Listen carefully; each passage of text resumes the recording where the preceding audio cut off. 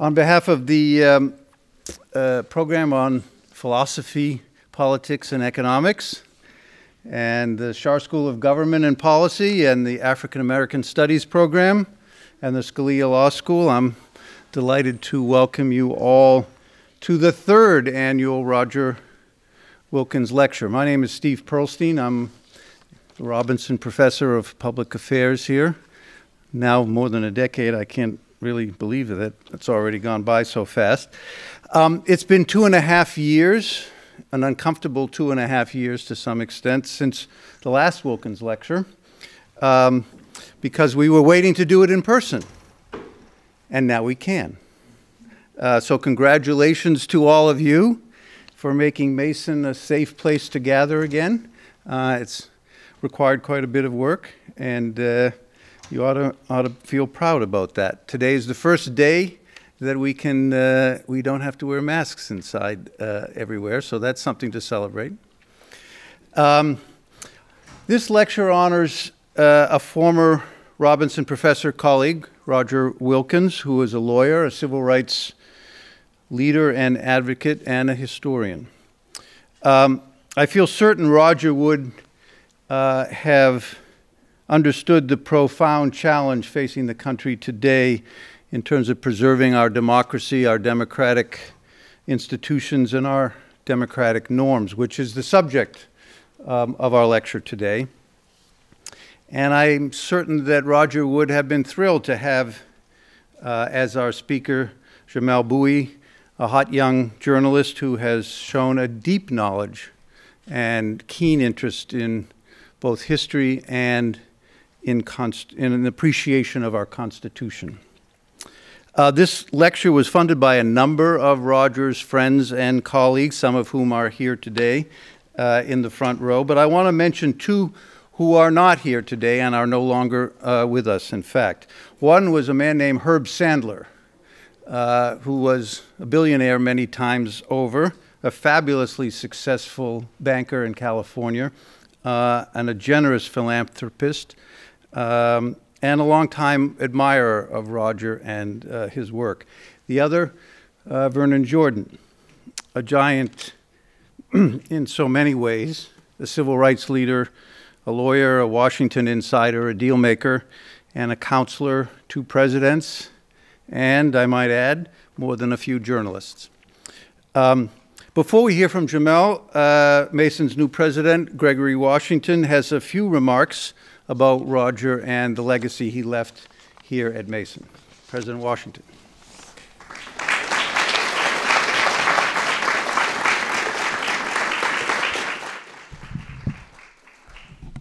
Isn't it fantastic to be here, to be in a lecture like this, and to hear from one of the most exciting uh, political minds of our time? I am just ecstatic to be here. I want to thank you for uh, this opportunity.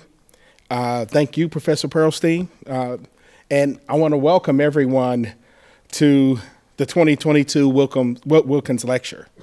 Uh, I'd like to extend a special thanks to Patricia King, uh, Professor Emerita at Georgetown Law and the wife of uh, Roger Wilkins and his daughter Elizabeth, and, uh, who is the senior advisor uh, to the White House Chief of Staff, and her husband Graham. So thank you all for being with us today.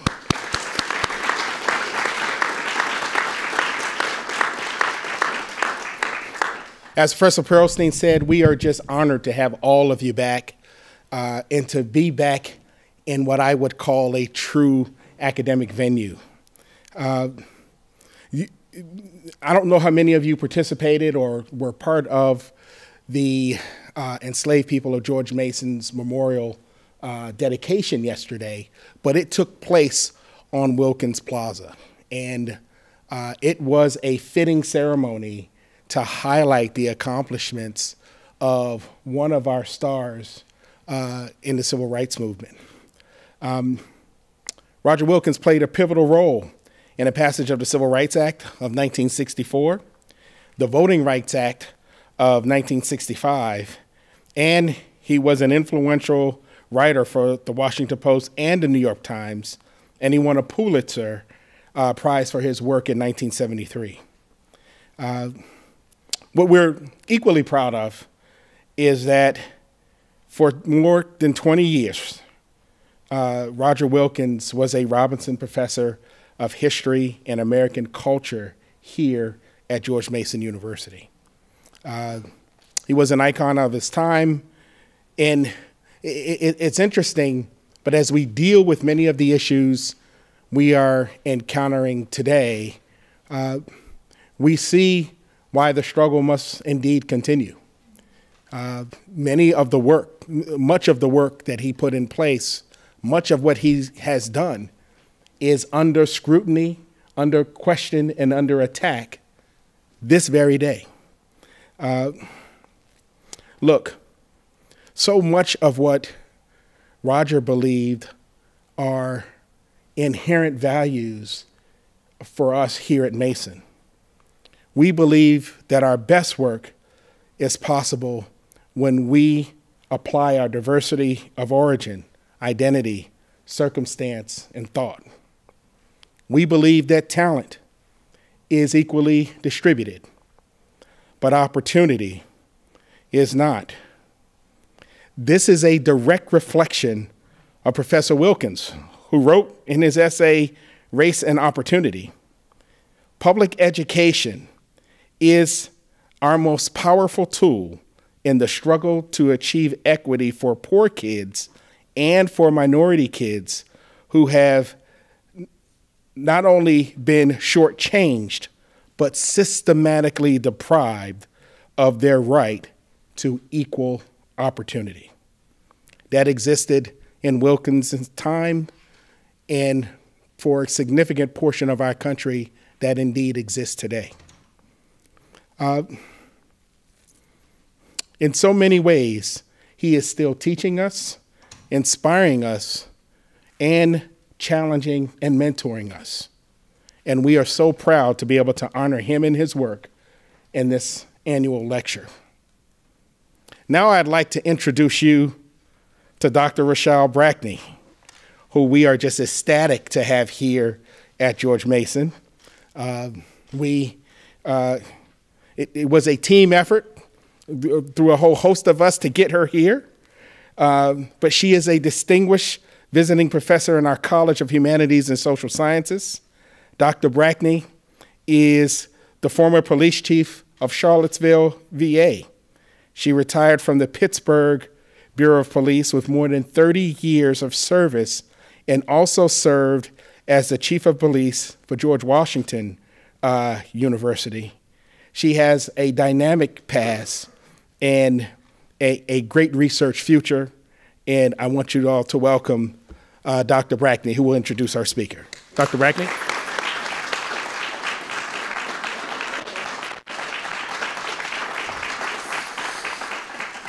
Thank you. Thank you for your, uh, this opportunity um, to do this introduction.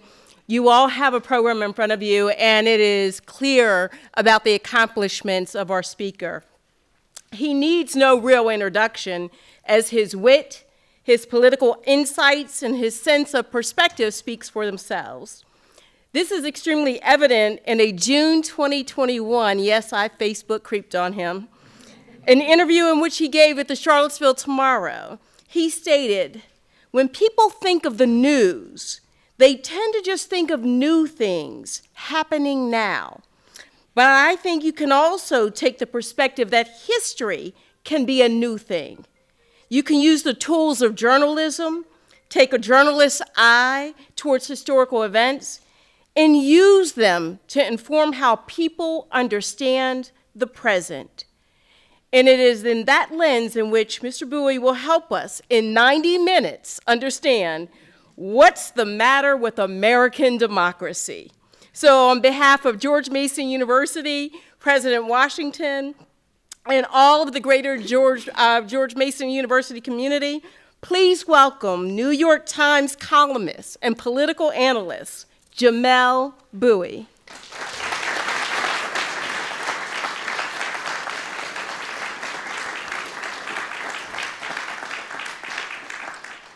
turn on my microphone.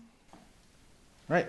Um, thank you for being here. Thank you to George Mason for having me. Thank you to Steve uh, for inviting me out. Um, thank you to Dr. Brackney for the very kind introduction. Um, yeah, have not done one of these in a long time, uh, in the same way that y'all have not been in a lecture room in a while. So forgive me if it takes me a little minute to get warm. Uh, and before I start, I will quickly say that I can get a little animated. I'm probably going to like do a lot of this. Uh, so don't be alarmed if that starts happening. It's just how I talk. Um, okay. The title of this lecture is What's the Matter with American Democracy? Before I get going, I just wanted to give everyone a sense of what I'm going to say, just a quick kind of rundown, um, just so you know ahead of time where we're going to be going and how this is going to play out a little bit. My short answer to what's the matter with American democracy is that we don't have enough of it, uh, and that our system needs more political equality in particular. By the end of my discussion here, I hope to persuade some of you, or at least one of you, I don't, not that ambitious, one person will do for me, uh, that the American political system is not democratic enough, uh, that it is severely lacking in political equality, and that rectifying these things would leave us with a system that would do a much better job of uh, realizing our democratic aspirations. And our democratic aspirations is something I'm going to talk about quite a bit uh, over the course of my time with you. But before I get to all of that, I first want to begin with a phrase that you've probably heard before. Spend enough time writing and speaking and thinking about American democracy out loud, spend enough time as a critic of American democratic institutions, and you will eventually hear a particular rejoinder to whatever point you're trying to make. We're a republic, not a democracy. A republic, not a democracy. I hear it all the time. Uh, I write about this stuff pretty frequently, and I hear that a lot, uh, not just from commenters, but from elected officials. Representative Dan Crenshaw of Texas a while back used a version of that line to blast uh, liberal and progressive critics of the Electoral College. He said, Abolishing the Electoral College means that politicians will only campaign in urban areas. We live in a republic, which means 51% of the population doesn't get to boss around the other 49%. Utah Senator Mike Lee, another Republican, made it the linchpin of a series of tweets condemning what he called, quote, rank democracy. We're not a democracy, he said on the eve of the 2020 presidential election. Democracy isn't the objective. Liberty, peace, and prosperity are. We want the human condition to flourish. Rank democracy can thwart that. I'm going to stress the rank because I just think that's an insane phrase. Um, rank democracy can thwart that. Lee followed this up with an essay where he explained his views in a little more detail. Our system of government is best described as a constitutional republic, there's that phrase. Power is not found in mere majorities, but in carefully balanced power. Now, for my part, there are a few key misconceptions here that are worth breaking down. The first is the idea, kind of implicit in the whole rejoinder, that the framers of the country were thinking of majoritarian government when they decried or criticized democracy. But this isn't true. This is a, a misconception. It's true that someone like John Adams would say, Democracy never lasts long, it soon wastes, exhausts, and murders itself. There never was a democracy yet that did not commit suicide. Adams, very melodramatic, um, very melodramatic guy for the founders, for the most part, democracy did not mean a system of majority, uh, uh, did not mean majority rule in a system of representation. Democracy, uh, for the men who devised the Constitution and led the revolution, was something they were talking about in reference to ancient Greece, to ancient Athens. Uh, so when James Madison critiqued democracy in Federalist 10, he very much meant the Athenian sort. Quote, a society consisting of a small number of citizens who assemble and administer the government in, per, in person. And it was this that he contrasted with a republic or a government in which the scheme of representation takes place. In a 1788 speech to the New York Ratification Convention, Madison's at the time partner in crime, Alexander Hamilton, likewise disavowed the ancient democracies in which the people themselves deliberated. They never possessed one good feature of government. Their very character was tyranny, their figure deformity. So, in more modern terms, right, the founders didn't fear democracy as we understand it. They feared direct democracy. A bunch of people, you know, about this size, about this kind of room, getting together and voting on the laws directly themselves. They thought that this was a mess, and they were probably right about that. They feared direct democracy and they accounted for its dangers with a system of representative democracy. And it's within that system that they mostly expected things to happen along majoritarian lines. It's why the Constitution specifically specifies those instances when a supermajority is necessary. And it's why uh, a number of them, I'm going to bring in Hamilton again here, uh, complained that the government under the Articles was too hamstrung by supermajority rule, that having too much consensus was, was, was as much as a problem as not having enough consensus. Hamilton wrote, the fundamental maxim of Republican government was the sense that the majority should prevail. So, to go back to this phrase, we're a republic and not a democracy, it just doesn't make any sense uh, because they're functionally two words for the same thing. One happens to be Roman, one happens to be Greek. But, that said, for as much as the framers were not hostile to representative democracy as we understand it, they were very skeptical of the value of mass politics and mass participation in political life, especially in those early years riffing on Shays' rebellion, which had occurred about a year before the Constitutional Convention, Elbridge Gerry of Massachusetts complained that the evils we experience flow from the excess of democracy, meaning here mass politics. The people do not want virtue, they are dupes of pretended patriots in Massachusetts, it has been fully confirmed by experience that they are daily misled into the most baneful measures and opinions by the false reports circulated by designing men in which no one on the spot can refute. I sympathize with that actually quite a bit. For as much as the framers expected their new government to operate on majoritarian principles, they also designed that government to, as much as possible, curtail the power of the states and reduce the direct input of ordinary people, or at least those ordinary people who counted for political participation.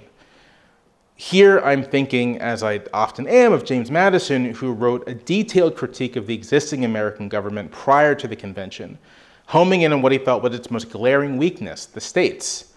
His vices of the political system of the United States included the encroachments by the states on the federal authority, the trespasses on the states on the rights of each other, and the want of concerns in matters where common interest requires it. How much has the national dignity, interest, and revenue suffered from this cause? Madison asked rhetorically. The point here is that Madison and his allies viewed the states as dangerous cauldrons of mass politics and overly democratic sentiment. Their new constitution would do as much as possible to curb and restrain this for the sake of stability in government and the protection of private property. As an aside, that last point really gets underplayed when it comes to these guys, but Madison was mad about paper money, for example. Many of the founding fathers were um, upset about legislatures maybe forgiving debts and generally being a burden on the property owning class. And so the protection of private property is, much, is as much a part of this effort to restrain as anything else it really isn't for nothing, right, that opponents of the Constitution, and there are many of them, singled out its treatment of states and their legislatures as an egregious assault on the freedom of the American people. I'll quote Gordon Wood. To the Anti Federalists, the Constitution represented a repudiation of everything Americans had fought for.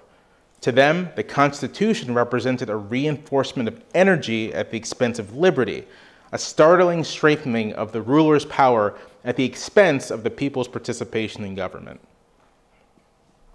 If the American Revolution was an actual revolution, an actual unleashing of the leveling spirit, you might call it, that transformed American society and pushed it toward a kind of equality, then you can understand the making of the Constitution as a counter revolution, an attempt to close off some of the possibilities unleashed by that initial revolution. To put that a little bit differently. We tend to think of the Constitution, by we I mean sort of the public at large, Americans generally, tend to think of the Constitution as coterminous with American democracy. They're the same thing, they run along the same boundaries. But I think a look at American history will show that that's just not the case. American democracy, or at least our democratic impulses and our democratic beliefs, tend to be a bit bigger than what the Constitution actually allows. And our entire history, or for our entire history, those impulses have very often been in conflict with the Constitution. We've had to amend it, we've had to bend it, we've had to even break it a little bit to align our democratic spirit with the institutions of the Republic.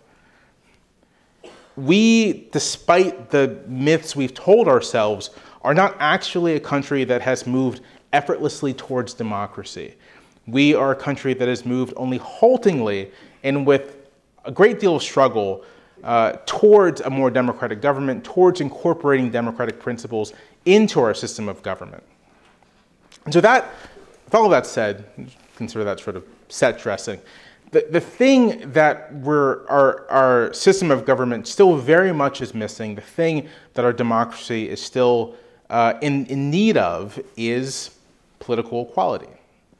Now, what is political equality exactly? For my money, democracy rests on the idea that no one person or clique or group is entitled to rule. No one is entitled to rule. Legitimate government depends on the consent of the governed, and all citizens have an equal say as to the conduct of that government. The moral promise of democracy, the reason why anyone really even cares about it to begin with, is that it roots the right to govern in the intrinsic worth of the individual, not in some arbitrary notion of talent or ability.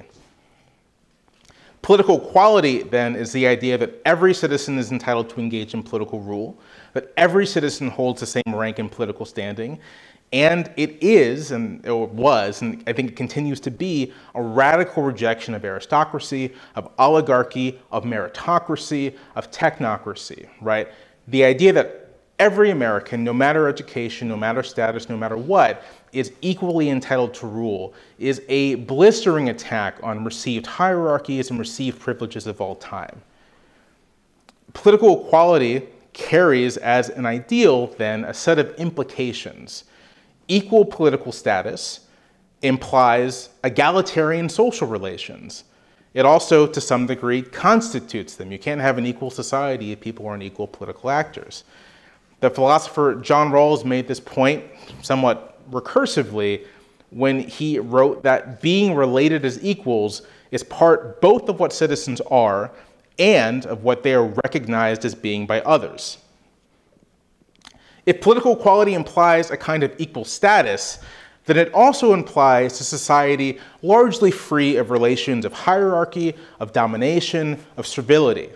And I think most importantly for our purposes, political equality implies a society whose institutions are shaped to secure and affirm equal political standing.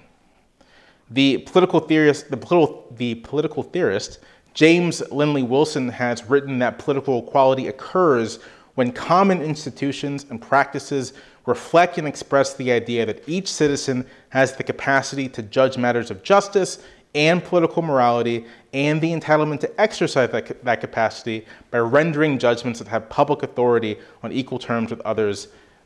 A little bit of philosopher, you know, cludginess there, but you get the point. Now, I am speaking and assuming that political equality is an obvious good, but I should not take that for granted. A good argument doesn't take the premises for granted. So, why should we care about political equality? The easy and short answer is that, like I said a little earlier, it is the moral promise of democracy and the reason that democracy holds any appeal in the first place. If you don't believe in a self-governing society of political equals, and in a critical sense, you don't really believe in democracy. You may believe in something else, but it's not democracy. But I think there are other instrumental values that arise from political equality and that help explain why we should treat it as a good thing.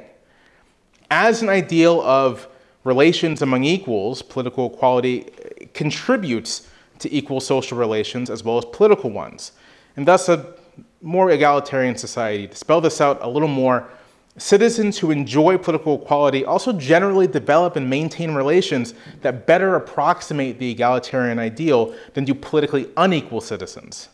The experience of interacting as equal authorities over matters of common concern leads citizens to view one, as, one another as social, social equals in general, people, uh, people entitled to equal respect, concern, and treatment in all facets of social life. Here I'll steal a little bit from our friend Aristotle, who observed that there is little or no friendship between ruler and subjects in a tyranny, for where there is nothing in common between ruler and ruled, there can be no friendship between them either, any more than there can be justice. Which I think is a good approximation of this idea that when there are these sort of rigid political hierarchies, you can't really have equal relations of any kind. You can't really have justice between persons. Uh, an example, just a quick example, is the Jim Crow South, right? The reason, part of the reason for robbing African Americans and many white Americans as well of equal political rights was as much about ensuring that the equality of political status did not lead to social equality as it was, as it was for establishing dominance of Southern elites. And for the sake of sort of illustrating this point a little further, let's imagine a caste society in which the extent of one's political input was determined by one's place in a rigid hierarchy. Hard to imagine, I know. People at the top exercise total political freedom, people at the bottom are disenfranchised and dominated. Now, even if the society, for some reason, instituted laws against caste discrimination, the very fact of a hierarchy of rights will inculcate a prejudice against those at the bottom. This is essentially how racism developed, right? The, the decision to enslave Africans is what produced the host of prejudice and ideologies that we now call racism. The, the, the enslavement came first, the ideas and prejudices came later. And so even after you liberate the slaves, even after you kind of try to establish something like an equal political system, you have these received prejudices and beliefs uh, tied to the old hierarchy that just don't go away. So, as in our hypothetical society, when someone calls for political equality, and when someone calls to obliterate distinctions of political influence, it will result in strife, uh, not just because it would disrupt the political system as it's been constituted, but because it will disrupt social relations as well.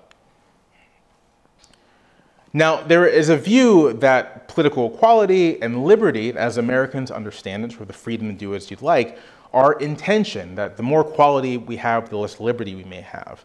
Um, that we can't enjoy that equality without threatening many of the freedoms that we enjoy and take for granted. I don't want to dismiss this, although that is very much my temptation.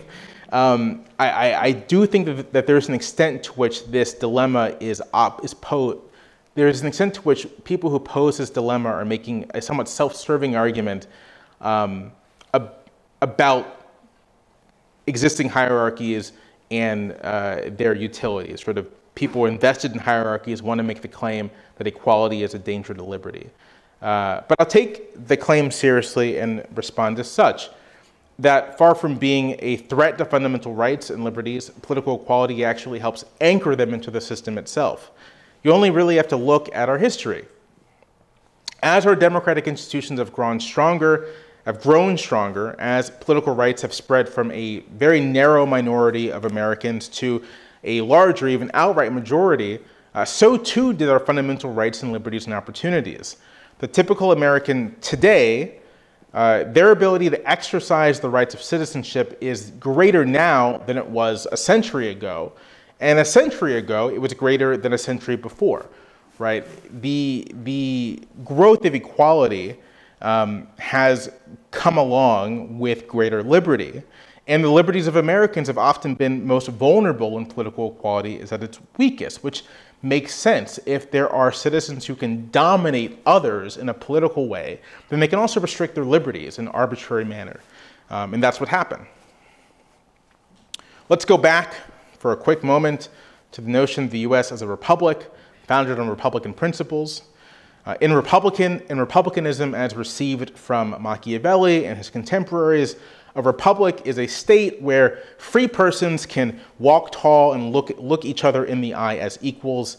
They don't depend on anyone's favor for being able to choose their livelihoods. They can relate to each other uh, in a mutually reinforcing consciousness of enjoying the independence of being free citizens. So, freedom in this Republican sense is non domination, then I think we have to acknowledge that a critical part of non domination is political equality. what does this have to do with American democracy specifically? Democracy in the United States, as currently organized under our Constitution, is, I think, marked by profound political inequality. Much of it, as I think we all know, by design. We can start from the top, so to speak. The framers of the Constitution uh, did not think they were establishing a nation of political equals. Just think about everyone who was excluded from meaningful political participation. Women, obviously, Native Americans, either within the borders of the US or outside of them, and the vast majority of black Americans who were enslaved and treated illegally as, as, as chattel, and those that weren't um, often were highly restricted in their ability to act politically if they could act at all. To the extent that our Constitution extended any form of political equality to anyone, it was to adult white men.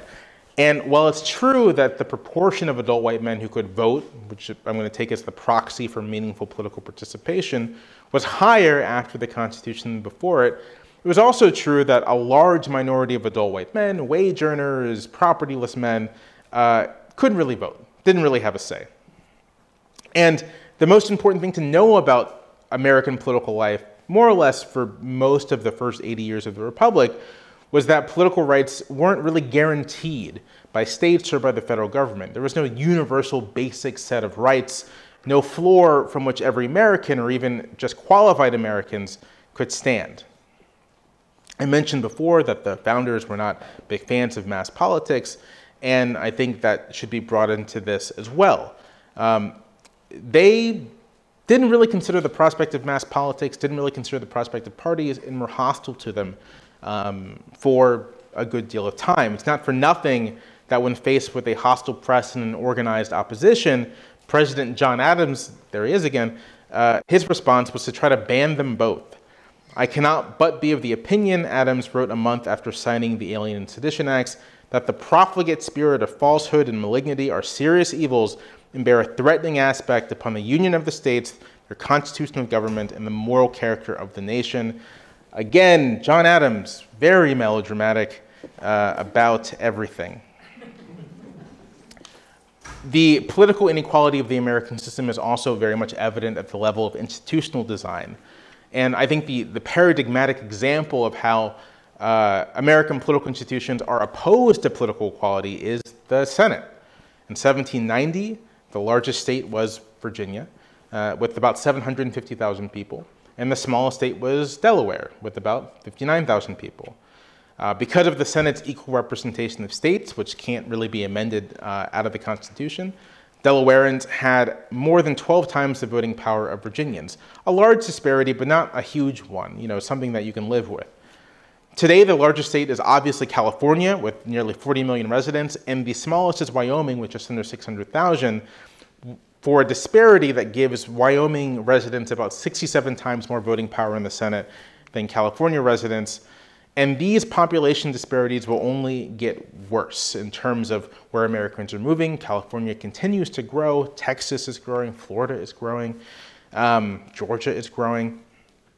Uh, and in terms of where the share of the American population will end up living. By 2040, uh, about half the population will live in eight states and the remaining 42 states would have the rest. And if we set partisanship aside for a second, forget about which party controls what, we're looking at a frankly bizarre future where one half of the population is represented by 84 seats in the upper chamber, and the other half can only lay claim to 16 seats. Uh, you cannot plausibly say in that scenario that Americans have equal political representation. They, they simply do not. And these population disparities are all before we get to the ways that the Senate enhances the representation of white Americans and a pretty narrow slice of white Americans at that and lessens representation for non-whites across the board. The Senate is a particular thing I don't like, but there's also the Electoral College, uh, whose rules give the most power to citizens in the most competitive states, in which allows the loser of the popular vote to win the presidency as long as their voters are more evenly distributed across the country than their opponents. It's really all it amounts to. It's not a small state, big state, rural state, urban state. It's are your supporters better distributed across the country's landmass than your opponents? Um, in practice, what this means is that most of our votes in a presidential election don't count. If you happen to live, a, live in a competitive state, congratulations, your vote counts. But if you're like the majority of Americans who don't, you could kind of get, a right, get away with not voting. I hate to say that, but it's the case. Uh, consider the following about kind of the population distribution. More people live in the solidly red rural counties of California, blue state, New York, and Illinois than live in Mon Wyoming, Montana, Alaska, and the Dakotas altogether. In the 2020 election, there were more Trump voters in Cook County, Illinois than there were in all of West Virginia, more Trump voters in Los Angeles County, about 1.1 million people, than uh, voted for Trump in Oklahoma, a state he won by 30 points, right? On the other side, there are more than twice as many Biden voters in Texas and Florida as there were in all of New England. And that's even if you add New York to the mix, which I don't want to because it's technically the mid Atlantic. But uh, uh, when you do, Texas and Florida still come out on top. Because of the Electoral College, though, those Biden votes, voters in Texas and Florida, those Trump voters in California and New York, they don't matter. Um, neither candidate has any reason to try to mobilize them. Neither candidate has any reason to try to reach out to them. Uh, and those votes are wasted. It makes a mockery, I think, of the idea that any of us are politically equal. There's so many electoral college issues, and the last one I'll mention is the issue of the misfire, right? At two points in less than 20 years, the loser of the national popular vote has become president because of this geographic distribution of his support. And beyond, I think, being an affront to political equality, it is just arbitrary. If I'm from, so I'm from the panhandle of Florida. Can't really tell from my accent, but that's where I'm from. Um, and, or that's where I was born, and that's where my family's from. The Florida panhandle, sort of right below Alabama if in 1845, when Florida became a state, Alabama had the panhandle, if we drew the border so the panhandle belonged to Alabama, then, you know, obviously unbeknownst to anyone then, uh, in 2016, Hillary Clinton would have won, right? Um, because a huge chunk of Republican votes would have been in Alabama instead of in Florida. I think that is ridiculous. It should not be that arbitrary that if you change a border just a little bit, you get a fundamentally different political outcome. And obviously, in this last election, if uh, Joe Biden had lost a couple tens of thousands of votes in a couple states, he would have lost the election, um, well, even while winning roughly 8 million more votes than his opponent. So the way to think about those 8 million votes is that 95% of them were wasted, not necessary. Uh, they maintain some illusion. We maintain some illusion that those votes counted, but when you really get down to the nuts and bolts of it, they didn't matter. They had no impact on the outcome.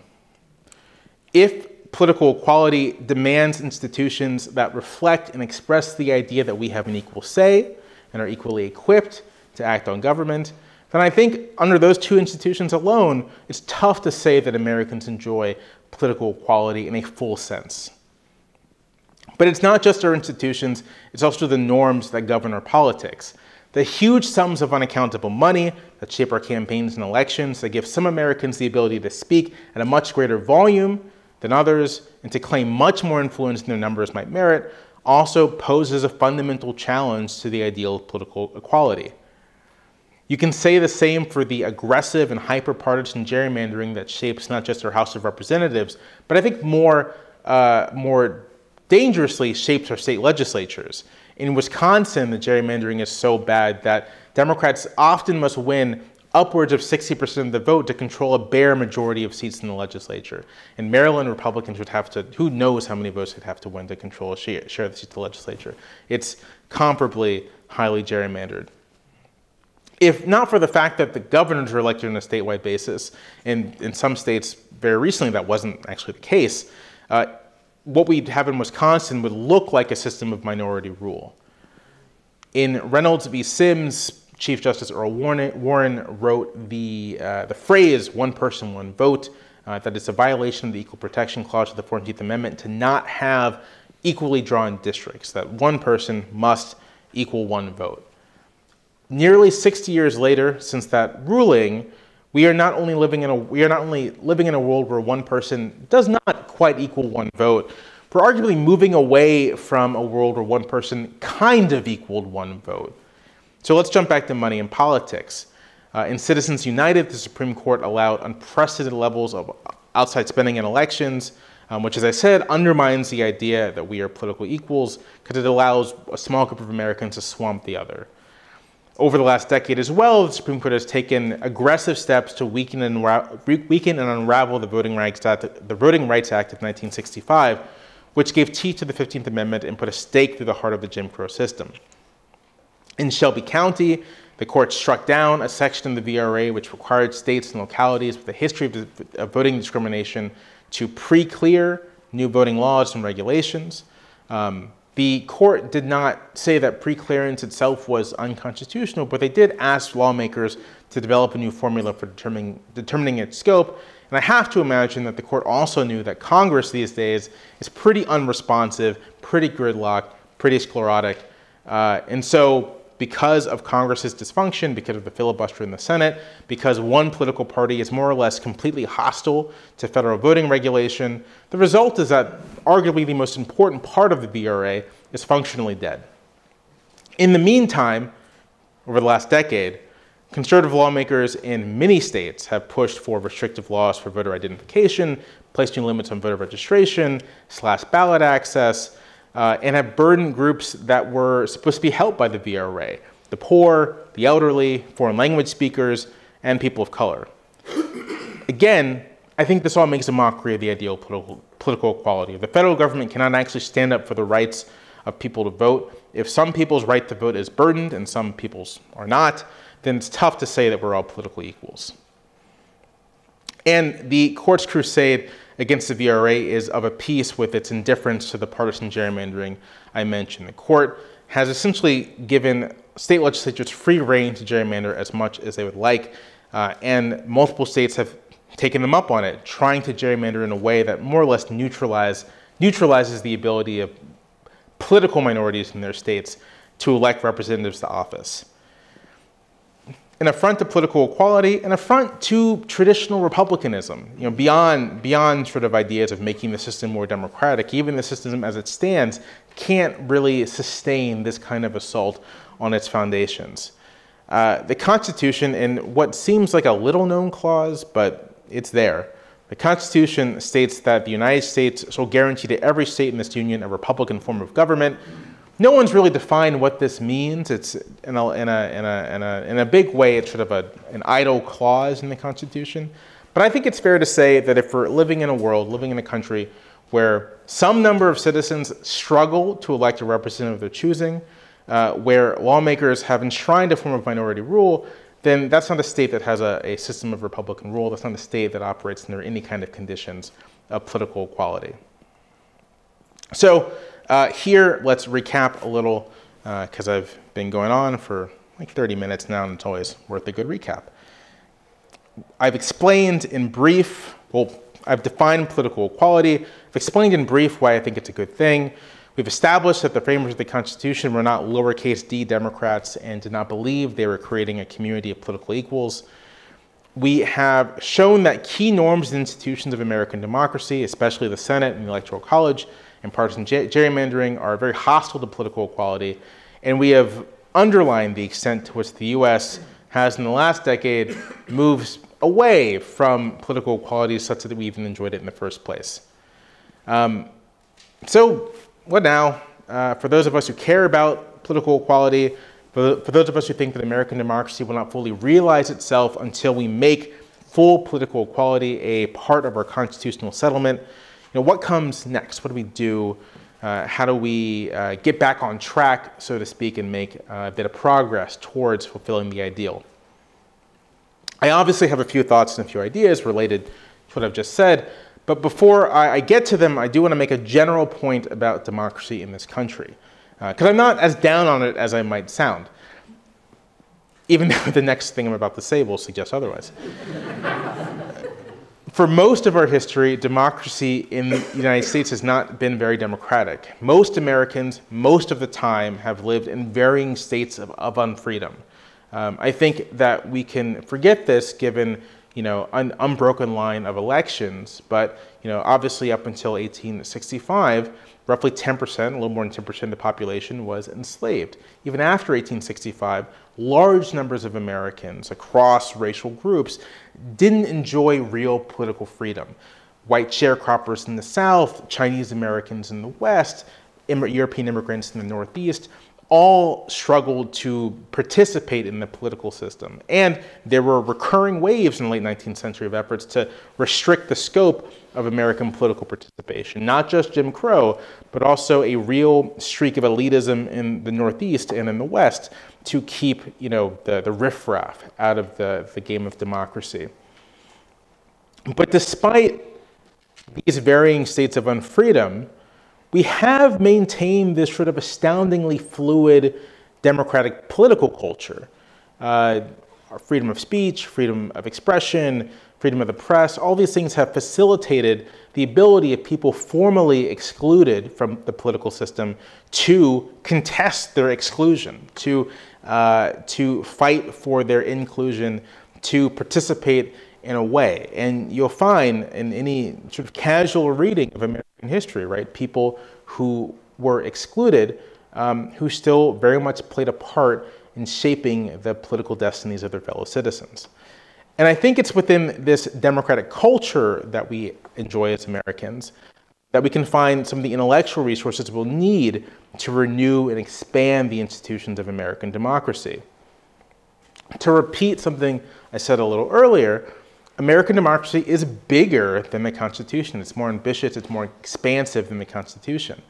This was true at the time of the Revolution when enslaved Africans, you know, almost immediately after the words of the Declaration were dry, took those words and pressed for their freedom, uh, taking an expansive view of what an American democracy could mean.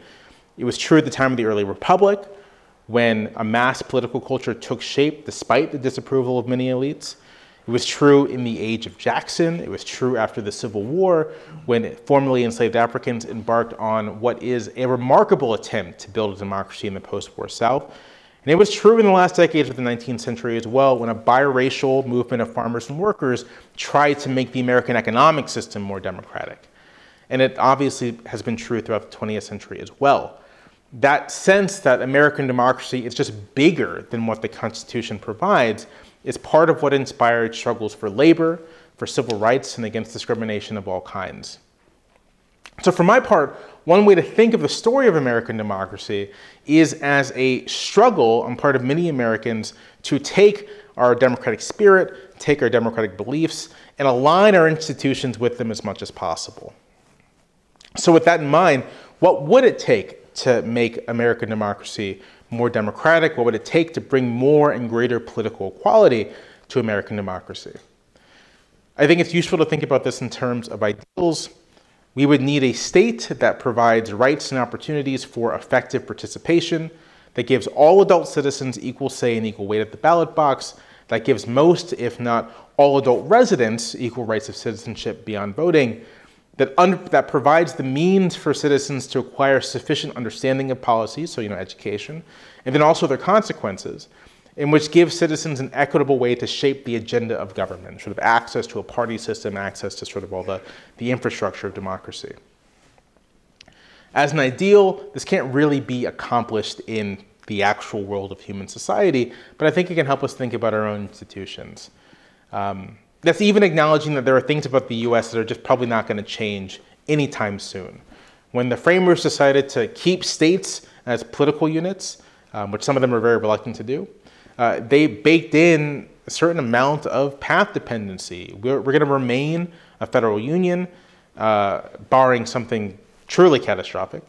Uh, states will continue to have responsibilities and prerogatives, uh, and they'll also have some manner of representation as states uh, which ensures a kind of baseline level of political inequality in the system. But even within the confines of American federalism, we still have a ton of room to maneuver. On the level of institutions, I think we can eliminate partisan gerrymandering and gerrymandering altogether uh, and better align the House with the public at large and state legislatures for that matter. We can institute a form of ranked choice or preferential voting, with each state operating as its own single or its own multi-member district. Uh, so instead of you know instead of Virginia having 13 districts, we just all there's 13 seats and we rank the votes and choose 13 representatives. We can enlarge the House itself and reduce the, the, the, ratio of representation, which I think kind of makes it more difficult to, to build more equitable uh, uh, House representatives. And through both of these, we can encourage the development of new political parties to help better represent Americans and, and get more views in there, help handle our polarization and political conflict. The Senate is uh, uh, much trickier. Uh, as I mentioned earlier, uh, equal representation of states is baked into the cake. There's not really much we can do about it. It's like the one thing that cannot be amended through the normal amendment process.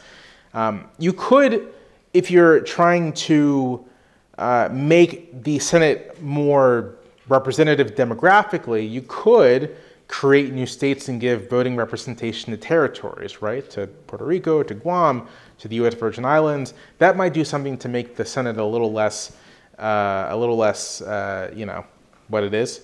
Um, but it doesn't really solve the problem of unequal representation.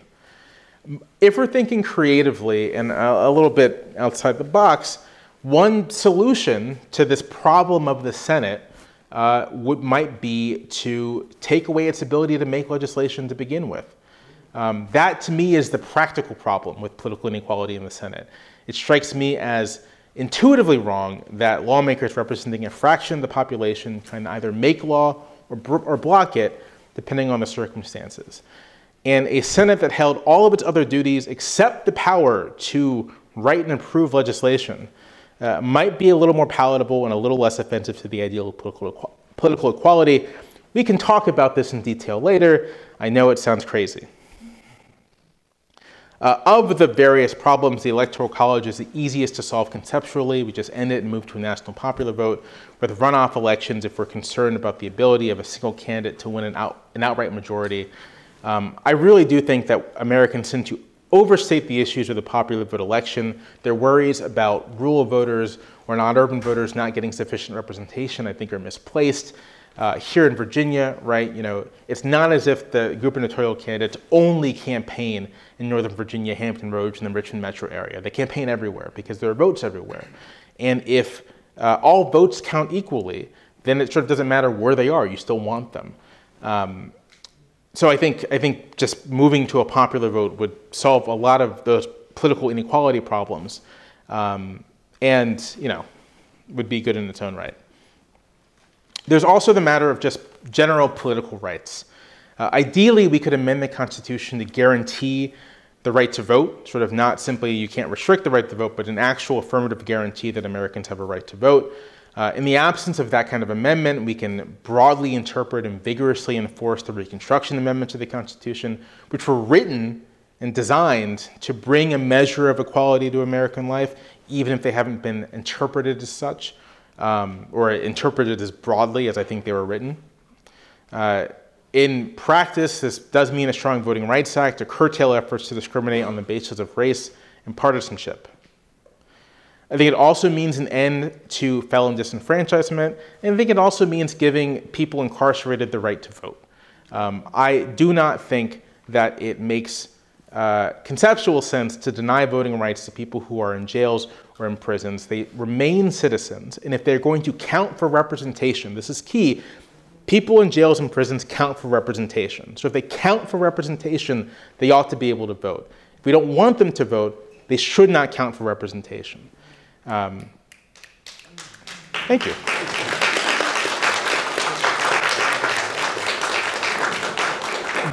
Beyond expanding the right to vote sort of outward, it I think it means making an effort to make voting as easy as possible for as many Americans as possible.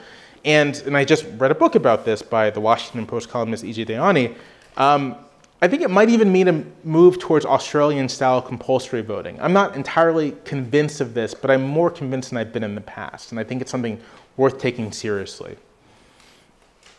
I think trying to make our system more politically equal, equal will mean regulations on the ability of those with resources to shape political life, whether that is just an outright limit on the ability to spend money on elections, or whether that's a robust system of public financing with transparency for donations and limits on non-party organizations. I think political parties should be much stronger in our country than they are, and this can help deal with some of the uh, coordination issues that might occur if you sort of put tough limits on um, outside organizations.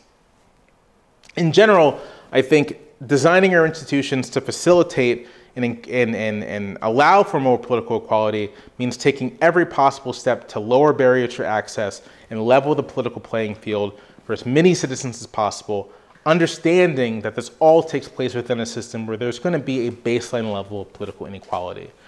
Which I think brings us back to the Constitution. The Constitution. I think that if we really want to realize political equality in the United States, if we really want to make this a more democratic democracy, then we need to rethink our Constitution. Uh, the current Constitution has its virtues. I've written about them. There are things about it I, I like quite a bit. Um, but we have spent nearly 250 years trying to shoehorn a democracy, um, a democratic political system, into a decidedly undemocratic document. And there's really only so far you can go in that direction. More acutely, the undemocratic and counter-majoritarian features of the Constitution have very recently been weaponized against democracy. And I think this is an underrated threat. We're all aware of January 6th, and that's what January 6th was. More so than the riot, and more so than the assault on the Capitol, January 6th was an attempt to use the ambiguities of the Constitution to curtail and even overturn a free and fair election. And the attempt continues, it's ongoing. There's an ongoing attempt to poke and prod at the Constitution, poke and prod at these loopholes to find some way to allow a loser of the, the election, not just popular vote, but just person who lost altogether, um, allow that person to seize power and serve as something. They wouldn't be president. President's a democratic office. So they wouldn't be president, but they'd be something, and it wouldn't be good.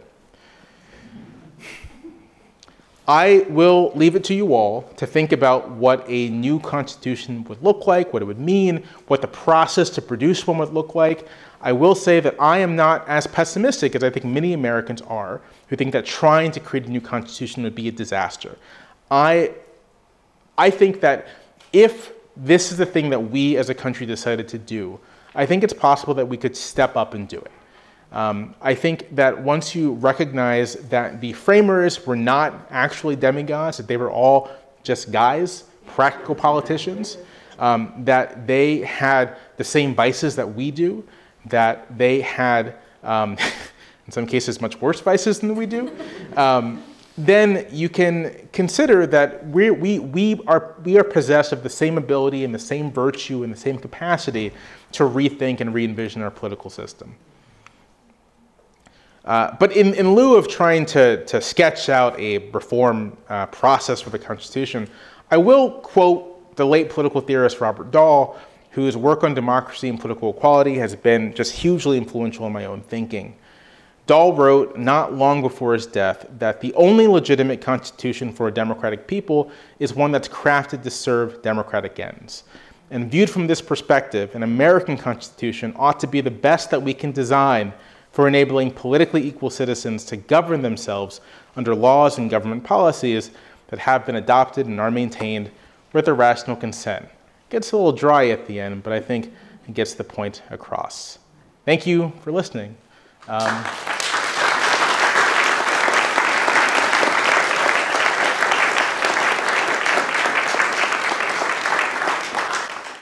and I think we have a Q&A. My name is Jennifer Victor. I'm uh, Associate Professor of Political Science in the Schar School of Policy and Government. It is my great uh, privilege and honor to play moderator for our Q&A session.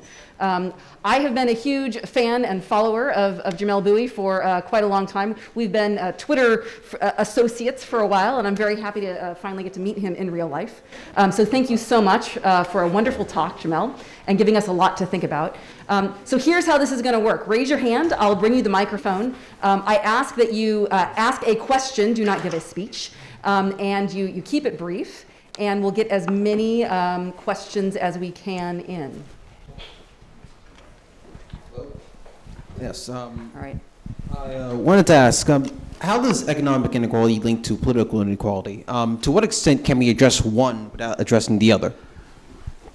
I don't think we can address the two separately. I think that um, a highly economically unequal polity government system is going to be a politically unequal one as well. And this isn't, you know, this is, I think, often thought of as kind of a radical idea, maybe it is, but this is a tradition of American political thought going all the way back to Jefferson, right? Like Jefferson's ideal of a you know, a, a, republic of farmers and small landholders is more or less predicated on the idea that there has to be some level of equality in material resources across the polity in order for a republic to work. The populist movement, which I alluded to, is very much, uh, was very much formed on the idea uh, that economic dependence is tied to political dependence and that the two need to, there needs to be economic and political independence of some sort. You can think of the New Deal, right, as an attempt to look at industrial society, industrial capitalism, in which most Americans are wage earners, no longer independent you know, property owners who, who make their own living, and trying to find a way to integrate that into, our into a democratic understanding, right? Providing some measure of economic support and independence given the reality of wage earning to support democracy. It's why FDR repeatedly throughout his four, his, his, his, his four terms in office talked about the New Deal and talked about this program not simply in providing relief to Americans, but in strengthening the institutions of democracy. So I think, I think the two are very much uh, tied together. And I don't think it's an accident, right, that over the last 30 years, the, the rapid increase in economic inequality, the rapid, the, the huge disparities between rich and everyone else um, have uh, gone hand in hand with movements to restrict uh, democracy and to roll the clock back on political equality. I think the two things are very much uh, of a piece. So yeah. I'll also ask that oh, thank you, uh, you um, stand up, give us your name and your position at, at your association with the university uh, when you ask your question. Nyla. Hi, my name is Nyla. Uh, I'm a freshman here at Mason. So my question is, uh, going back to when you were talking about if Florida, like a piece of Florida, was like kind of like joined with Alabama, uh, my question was, um, do you think that could connect with the 2000 election, where like, where I think Gore almost won the state, but then there was like a recount, and then they had to do another vote, and Bush ultimately won the state. Do you think that could apply to that argument? Yeah, I do. No, I, I absolutely do. Um, the the point is just to say that you know state boundaries are totally arbitrary, right? There's no particular reason why the panhandle is in Florida rather than Alabama. It just kind of is. Uh, you know, there's no reason why West Virginia uh, uh, begins where it does versus Virginia. You know, it kind of is. It's just how the way it, it, worked out. And so my view is that sort of the arbitrary nature of, of state boundaries, it's, it doesn't make sense to have that have such a, a, huge impact on sort of the outcome of a democratic election. The outcome of a democratic election should be based on who won the most votes. That's sort of the only rational way to do this. There's a letter James Madison sent, or didn't send, he wrote it and then he died. Um, uh, but he wrote it in 1834, and it was a response to John C. Calhoun of South Carolina, who was sort of the, uh, not just a an ideologist for slavery, but sort of like a, a, unique political thinker in his own right. And Calhoun's whole sort of thing was this idea that it was illegitimate for just pure majorities to determine the course of policy, of government, or whatnot. That he envisioned a system of concurrent majorities in which every sort of stake in society would first have to give their assent to the government before it could do something. And Madison, in this letter, kind of obliquely responding to Calhoun, responding to him uh, all the same, says this is ridiculous. That the only the only sovereign that can be fair in a republic is the majority, and if it isn't going to be the majority, it's going to be something else, and it's not going to be very fair. Um, and that's how I feel uh, about the American political system. And uh, you know, I think that we should um, be disturbed by how much arbitrary details like whose supporters live in what in which place, what borders fall where, is what are determining our political outcomes. Um, because I think it, you know, in addition to, I think offending should offend our ideals, um, it it can produce, you know, perverse political consequences. I'm thinking specifically of how the ability to win power without winning votes, um, and to do it, you know, repeatedly, I think it's having a big influence on the behavior of the Republican Party, right? If you figure out that you don't really have to assemble a majority coalition to win, uh, then why would you bother, right? Why wouldn't you just double down on the minoritarian advantages that you have and try to construct the system to preserve and expand them? And that's what I think is happening. It's totally rational, right? Like it's it's it's not a moral. I mean, it is kind of a moral failing, but it's not like it's not like an intrinsic moral failing. It is simply what rational actors would do in that situation if they aren't willing to sort of have a bit of forbearance about the system, right? If you're not willing to say, well, you know, I can pursue this advantage, but I'm not going to because it would be bad for the system as a whole, then you can live with these sorts of distortions. But as soon as a political actor or political faction says to themselves, I'm going to pursue everything I can according to the letter of what the document says, regardless of what it means for the stability of the system itself, then you have problems. And to say it as lightly as possible, we have problems.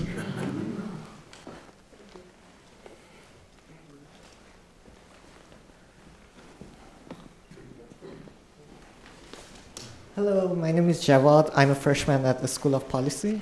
I wonder if you could, you could talk more about uh, the relation between active participation uh, in a political society because still political equality does not guarantee active participation, right? right. For example, uh, on our campus right now, this is an election system for the student government. We all are politically equal. All the students have the right to vote. Economically, somehow, we all are paying the tuition at this school, and still there are concerns over uh, the level of participation in the student government elections. I wonder what you think about that. Thank you. This is, this is sort of why I suggested that compulsory voting might be a thing that we'll want to think about because obviously freedom entails the freedom not to participate, right? Like you don't, you don't, you know, you, if, you, if you are free to vote, if you are free to engage in the political system, then you necessarily must be free to not do those things as well. But, you know, in the United States, it's not clear to me uh, how much of non-participation is the result of a conscious choice and how much of it is the function of sort of like the way we've organized our system, the way we do things, sort of the whole, the whole list of, of features. Uh, and, and beyond that, I think that if we're going to take seriously the ideal of political equality and move toward it, um, we should uh, uh, look for ways to encourage uh, the development of sort of the habits of good citizenship. Um, one thing, you know, uh, people don't really talk about outside of the academy, no one really talks about republicanism as like its own political system. But the framers were Republicans in that lowercase r sense, in the sense of a distinct political tradition. And one of the features of republicanism is an ideal of what constitutes a good subject, right? It constitutes a good member of that society. A, good Republican citizen is educated, they're engaged, um, uh, uh, they are, are active members in their community. And I think that if we're willing to give up a little bit of our pretense to kind of what you might say liberal neutrality, right, that the state isn't going to really impose a vision of the good, I think if we can kind of get past that a little bit and at least say, well, we are a society that was founded on Republican values, so the state should at least try to inculcate Republican values, then um, looking for ways to encourage or even compel people to participate at least at the, min- at the minimal level might be a good idea. Um, but I'm still thinking about that, right? Sort of, it kind of, I feel like we all, or most of us of Americans, have this sort of very like, you know, base level libertarian kind of view of things. Like, you can't tell me what to do. Um, and uh, part of me wonders, well, maybe this is a place where, you know, we should be told what to do. There's someone right in the middle who is raising their hand.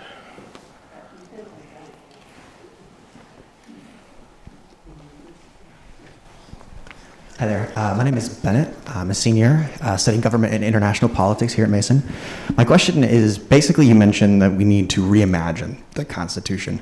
Without fail, both parties still hold tight to uh, the Constitution, uh, the uh, uh, pardon me, original Constitution. My question is, how do we reimagine and make it politically popular to write a new one? Yeah. I have no idea. uh, I, I, have no, I have no idea. Um, uh, you know, it's useful to think about how we got the current constitution. I, I you know, prior to the 1787 Constitution, we had the Articles. And in the present, we refer to the Articles as the Articles. But at the time, they referred to the Articles as the Constitution, right? It was, it was a lowercase c Constitution, but it was their Constitution.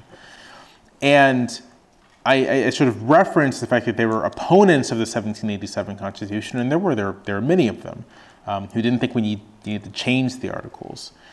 And the, the process of trying to replace the articles with the new constitution was so politically contentious that the framers more or less tried to rig the game as much as they possibly could, right? The fact that ratification conventions could only do yay or nay was an attempt to rig the process because if you said you could add amendments, you can make suggestions, then they would. And if they would, that would change the document in ways that the creators may not have wanted or anticipated. Um, and so that, that's all to say that the, the creation of the Constitution that we have was not politically popular. Um, uh, it was, you know, among an influential set of elites, they believed that it was necessary, that sort of the mounting crises, you know, depression, foreign policy crises, all these things, um, necessitated a new structure of governing. And so they were convinced, even with their disagreements, that something had to be done. Um, but it's tough to say that there is like a broad public consensus in favor of that something, right? Uh, if you want to conceptualize the post 1870 Constitution as a new Constitution, right, and I think that's a, you, there's a very good case to make that you should do that, that the 13th, 14th, 15th Amendments weren't just sort of like additions, but they fundamentally reconceived what the document was. You know, Uh, a lot of states weren't really part of the Union when, when those amendments were ratified. And when those states did ratify them, uh, they did so at gunpoint. So it's tough to say that they were done with like a level of like popular assent, right? Sort of, um, uh, as a parenthetical, somewhat worrying, worryingly, uh, the Amy, uh, Justice Amy Coney Barrett has like made this point in like a footnote in, a, in, a, in an opinion, and it kind of makes me paranoid um, that the 14th Amendment was like, you know, imposed by gunpoint. I see that as an okay thing. I'm not sure if she does. Um, but uh, in the present or in the future, if if there is going to be a new constitution, or at least like something uh, to envision, re-envision the constitution, it likely is going to happen uh, First, in the face of some sort of mounting crisis, right? Something that really makes it clear that the government we have is just not equipped to handle the challenges the country is facing. Um, and it's likely going to happen uh, in the face of a lot of opposition. Um, and sort of the question is sort of like how existential will people will that opposition be, right? Like if people feel that changing the Constitution or rewriting it or creating a new one is going to basically sort of like render them unable to live in the society as they would like to, problems. Um, but, you know, if we come to a consensus or something like a consensus that something needs to change and that we're going to enter into this with good faith, not an attempt to impose our own political views or inscribe our own political views into the Constitution, but really try to figure out what is the set of rules that we can all live by, what are the set of institu- institutions we can all live by, um, then I think we can do it. I think it's possible. Um, and I and I'll say even if it's not necessarily possible in the short, medium, or long term, it's still worth thinking about and arguing about and talking about. It's still worth looking at the Constitution we have and saying what could be better, what could be different, and doing so not from a perspective of, again, how can I constitutionalize my political views. You know, I don't think a new constitution is a place to be like there should be a right to health care. I may think that, but I don't think it's the place for a constitution. Um, it should be, we should be thinking of things like, let's say we keep the electoral college. What do we do about the misfire problem? Do we just like let that stand? I don't think we should. So how can we change the constitution to account both for federalism and, you know, majoritarianism? Those are the kinds of questions we need to be asking. And I think, I think, I, I think we should be having the conversations. And I think that it is possible for those to be public and, you know, consensus building. I don't think, I don't think that we are um, ill, unequipped to do that. It may be very difficult, but I don't think it's impossible. Let's uh, thank our speaker for joining us today. Oh, thank you.